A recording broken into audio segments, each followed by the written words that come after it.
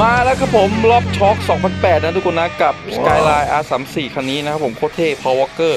อะเรามาลองดูนะผมว่ามันจะออกตัวดีขนาดไหนนะทุกคนนะดูรอบแล้วทุกคนนะรอบท็อก2008 จะโหดขนาดไหนนะทุกคนนะดูนะครับผมอะมาลองกันเลย let's go ไปครับผมดูรอบนะครับผมรอบจะขึ้นช้าหน่อยนะ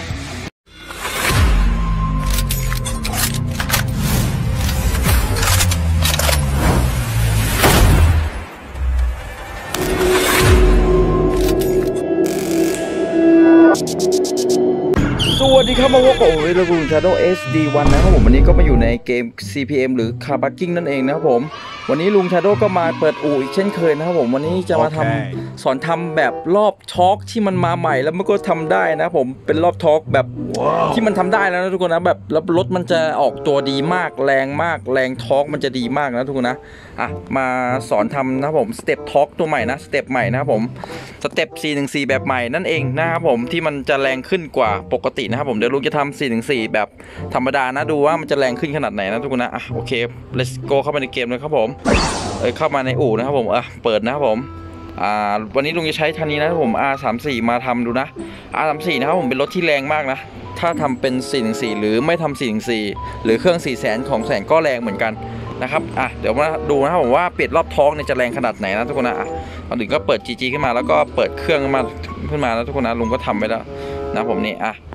เหมือนสเต็ปเดิมครับผม สเต็ป414ที่เราเคยทำนะทุกคนนะนี่เห็นไหม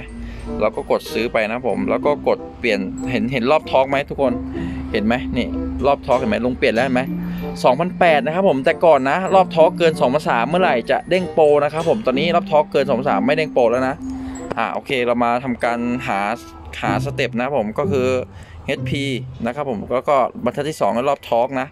รอบทอกเราจะเปลี่ยนเป็น2008 นะลุงก็ได้เปลี่ยนเรียบร้อยแล้วนะครับผมอะลองเรามาซื้อเครื่องนะผมอะ ซื้อเครื่องนะเดี๋ยวลงทำการใช้ใช้เครื่อง1นึ่งแสนแล้วกัน เพราะว่าใช้เครื่อง2องแสนลงเปลี่ยนรอบทอไปแล้วนะครับอะลงมาซื้อเครื่อง1นึ่งแสนแล้วกัน1นึ่งแสนห้านะอะนะครับผมเราจะได้หาค่าใหม่ ถ้าเกิดใครจะเล่นใช้เครื่อง2องแสนก็ได้นะครับผมเราก็หาค่าบรรทัดที่หนึ่งกับบรรทัดที่สองนะครับผมอะเรามาหาค่าไอ้เครื่อง1นึ่งแสนห้านะทุกคนหาค่า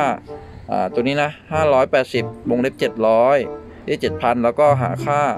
680วงเล็บ5,000 นะ ไอ้ส่วนสเต็ปหมกเนี่ยอ่าลุงจะแนะนำให้คนเล่นได้เฉพาะคนที่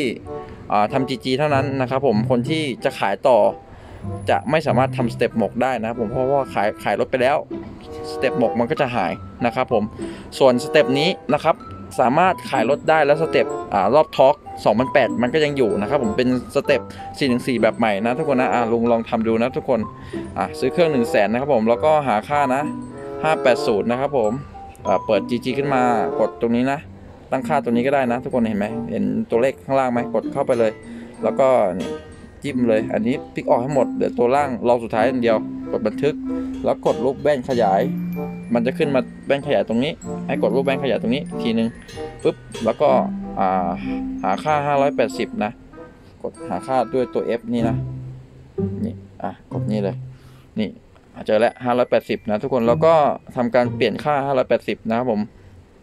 เป็น414 นะทุกคนนะ อ่า414 ปุ๊บนะครับผม แล้วก็หาค่าวงเล็บหลัง 7,000 นะ วงเล็บหลัง 7,000 แล้วก็หาค่า 7,000ปุ๊บนะครับผม อันนี้แล้วก็เป็นเป็น 8,000 นะ สเต็ปนี้คือสเต็ปใหม่นะทุกคนที่สามารถขายรถได้นะ ไม่ใช่สเต็ปหมกนะครับผม สเต็ปหมกมันจะไม่สามารถขายรถได้ แล้วก็หาค่า 680 นะ 680 นะครับผมหา ค่ารอบ torque นะ อันนี้รอบ torque มันนะ 680 นะครับผมเปลี่ยนเป็น 2,008นะครับทุกคนกดใช่นะครับผมแล้วก็หาค่าวงเล็บหลัง 5,000 5,000 นะครับผมกดค้นหาแล้วก็กดเปลี่ยนค่าจาก 5,000 เป็น 7,998 สเต็ปเดิมอ่าโอเคกดรีเซ็ตแล้วกดซื้อเครื่อง 1 5 0 0 0นี่ก็จะเป็นเครื่อง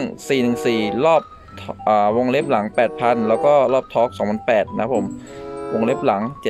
7998 ตอนนี้มันเกิน 2,008 ไม่ได้นะครับผม มันจะเด้งโปรนะครับผมเราก็ทำแค่28พอ ไอ้รอบนี้เราไม่สามารถซื้อพวกไอ้พวกโทโบได้นะ เราจะซื้อได้แค่ยาง แล้วก็ดิสเบรกนะครับแล้วก็ซื้อเกียร์บล็อกแค่นี้พอนะครับผมส่วนสูตรที่เราจากทำรอบแบบนี้ทำสเต็ปแบบนี้แล้วเราอยากซื้อพวกนี้นะ ให้เราทำการซื้อไปเลยนะครับผมซื้อไปเนี่ยรอบรอบมันเกินเห็นไหมรอบมันเป็น 3,000อะไรไหมเกินหมดแล้วไม่เป็นไร เกินมันก็จะเด้งโปรนะทุกคนนะ ถ้าเราทำอย่างนี้นะครับ ผมจะเด้งโปรแต่ว่า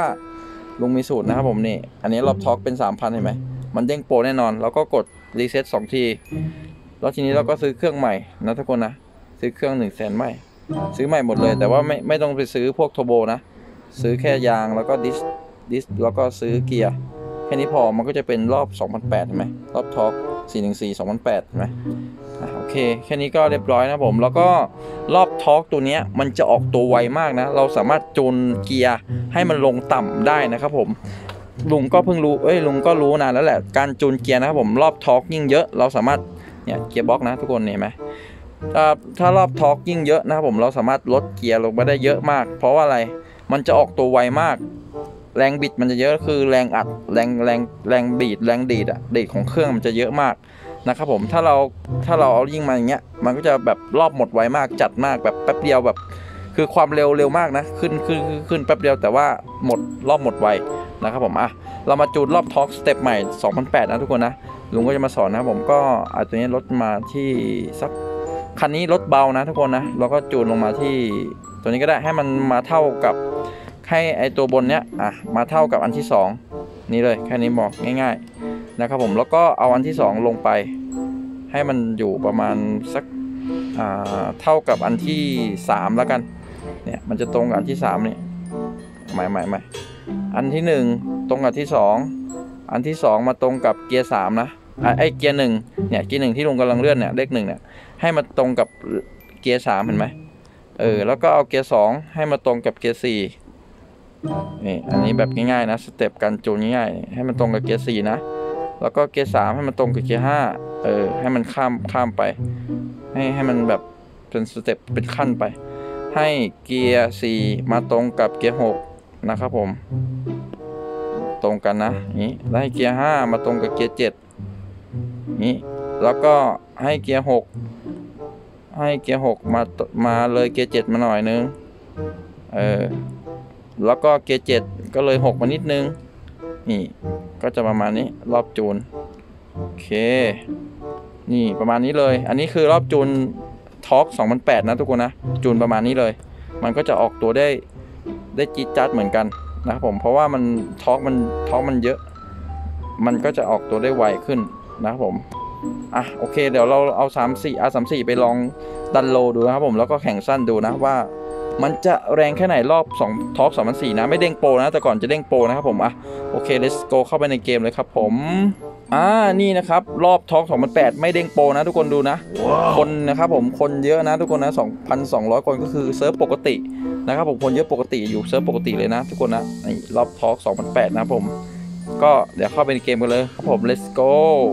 มาแล้วครับผมรอบ torque 2008 นะทุกคนนะ กับ Skyline R34 คันนี้นะครับผมโคตรเท่ Paul Walker อ่ อะเรามาลองดูนะผมว่ามันจะออกตัวดีขนาดไหนนะทุกคนนะดูรอบแล้วทุกคนนะรอบ torque 2008จะโหดขนาดไหนนะทุกคนนะดูนะครับผมอะมาลองกันเลย let's go ไปครับผมดูรอบนะครับผมรอบจะขึ้นช้าหน่อยนะ แต่มันไปไม่สุดนะครับผมดูดิปุ๊บนะทุกคนนะดูดิดูดูดูดูนี่ครับผมนี่คือสูตรจูนนะครับผมที่อ่าที่เขาเล่นกันแบบใหม่นะทุกคนนะ ที่มันสามารถพวก EK พวกอะไรวิ่งได้ 800 อะไรเงี้ยนี่แหละรอบท็อกตัวนี้แหละทำให้ EK นะครับผมวิ่งได้ถึง 800 เลย ก็คือเป็นสเต็ปใหม่นะดูดูรอบท็อกเห็นทุกคนเห็นไหมมันจะเด้งเห็นไหมเห็นไหมมันจะเด้งเห็นไหมนี่อันนี้คือลุงยังจูนไม่ไม่ไม่โอเคนะ ต้องไปจูนกันใหม่นะ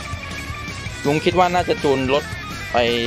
รอบไอเกียร์เนี่ยเกียร์เนี่ยประมาณเกียร์6เกียร์7เนี่ยเกียร์เกียร์6เนี่ยมันไม่ดีนะเกียร์ห้าเกียร์หกเนี่ยมันจูนไม่ดี มันก็จะวิ่งประมาณนี้นี่มันจะวิ่งประมาณนี้นี่ มันก็จะวิ่งได้ประมาณนี้อะเดี๋ยวลองไปจูนกันดูใหม่นะครับผมว่าวิ่งอะไรแต่ว่าดูแล้วออกตัวดีอยู่ แต่ว่ามันจะเป็นสายดันโลนะทุกคนนะเออนี่อันนี้ดันโลเห็นไหมมันจะไปแบบทอกมันจะไปแบบนี่เลยคือเกียร์เนี่ยเดี๋ยวดูนะเกียร์อะไรดีนะเดี๋ยวดูเข้าเกียร์แบบ manual ให้ดูอะดูนะผมอะเดี๋ยวนะเกียร์หนึ่งนะเกียร์หนึ่งออกอืดหน่อยนะเกียร์หนึ่งอืดรอบไปที่แปดไหมเลขแปดนี่เกียร์หนึ่งเกียร์สองไปดีไหมเกียร์สาม อืดสามไหมรอบที่แปดพันเกียร์สี่เกียร์สี่ค่อยๆไป นี่กำลังสวยกำลังสวย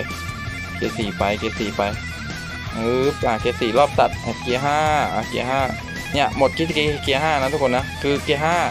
เราเอารอบเยอะเกินไป เราเอาเราต้องเนี่ยการจูนเกียร์ก็ประมาณนี้พอเราเกียร์ห้าเราวิ่งไม่ออกแล้วเราเป็นลดลดเกียร์ห้าลง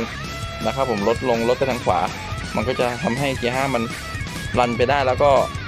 ขึ้นไป 6 ได้นะ อะ เดี๋ยวลองไปลองจูนเกียร์ใหม่นะครับผม let's go อะโอเค มาจูนกันต่อครับผม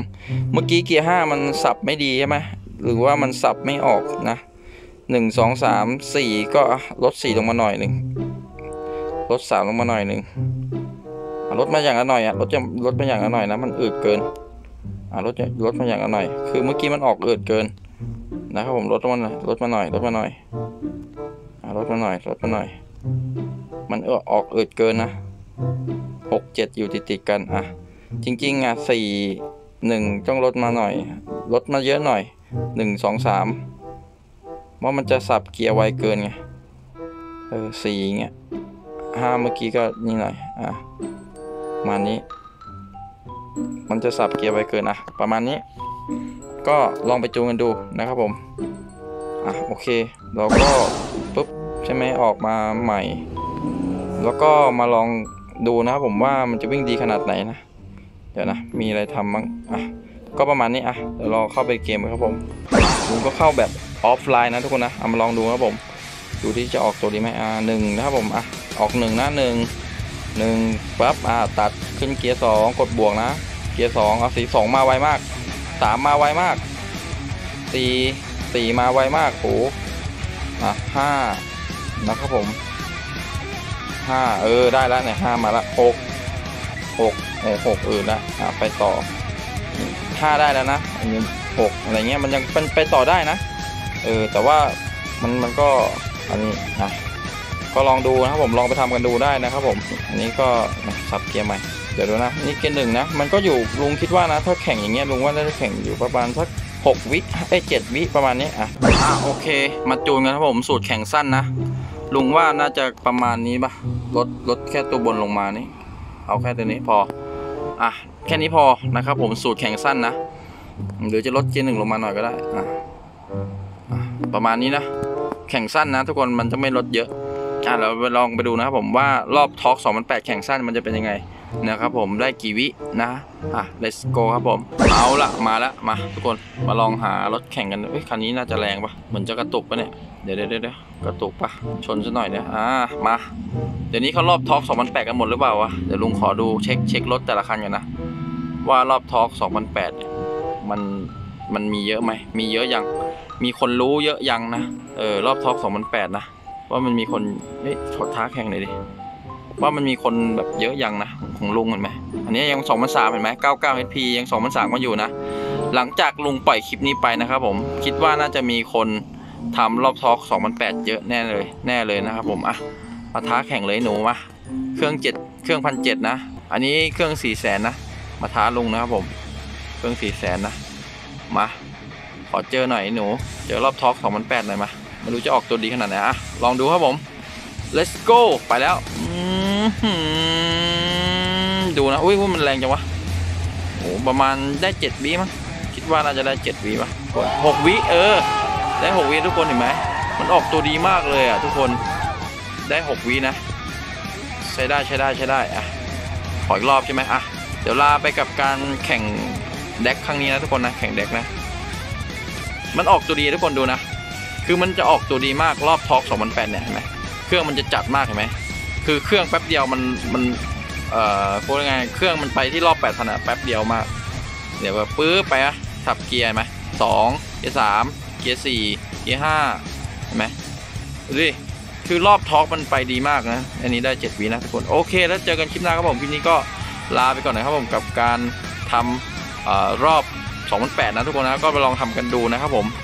น่าจะเฟี้ยวแน่ ๆ เลยนะครับผม สเต็ปใหม่นะ โอเคโอเค แล้วเจอกันคลิปหน้าครับผม คลิปนี้ก็ลาไปก่อนนะครับ บ๊ายบาย สวัสดีครับยูฮู torque สเต็ปใหม่มาแล้ว สเต็ปใหม่ 414 ของใหม่มาแล้วจ้า ไปทำกันดูได้นะเด็กๆ